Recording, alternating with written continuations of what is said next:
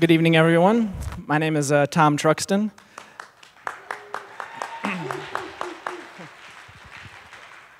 Thanks for Pastor David for inviting us out. I appreciate it. It's all, always cool to have an opportunity to, to share something with everybody. Um, the first day of the new year.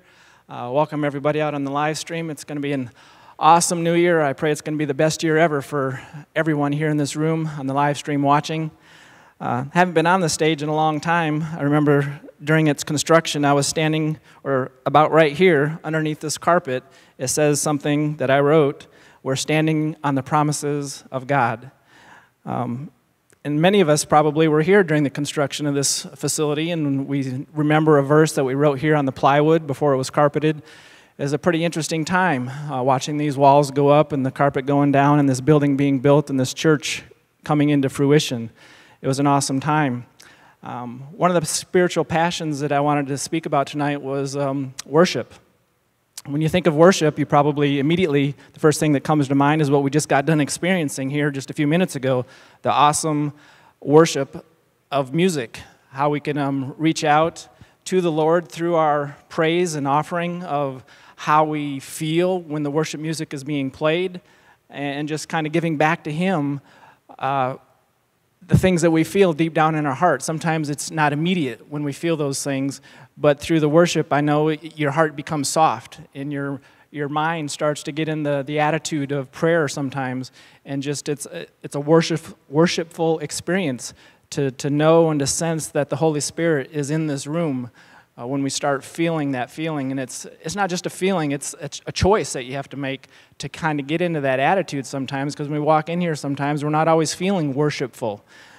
But how, can, how else can we worship the Lord? Not just with our, our musical uh, time, but with our uh, finances is another way that we can worship the Lord. And another way is with our actual time. I just mentioned that. Uh, how we spend our time during the course of the day, during the course of the week, month, and year. How do you spend your time? That's a way of worshiping the Lord. It can be, at least. Um, so you may consider that as you go forward. I don't know if some people are engage in doing.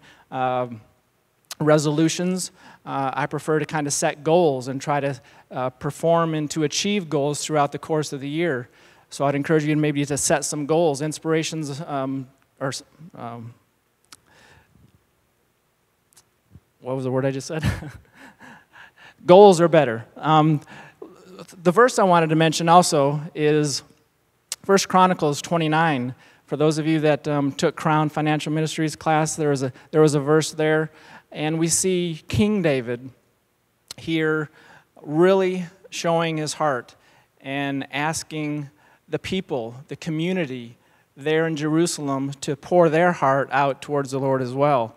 It's 1 Chronicles 29 11 and 12. He says, Everything in the heavens and earth is yours, O Lord, and this is your kingdom. We adore you as being control of everything. Riches, and honor come from you alone, and you are the ruler of all mankind. Your hand controls power and might, and it is at your discretion that men are made great and given strength. This is a verse that just stuck with me ever since I learned it that first day in 2004. But it's King David just really pouring his heart out. He was asking people, yes, to give financially, and that was one form of worship. Our time and how we serve the Lord is another form of worship. Um, and then obviously the musical form of worship. So, all three of these are awesome forms of worship that we all should try and engage in more and more in 2015. Thank you.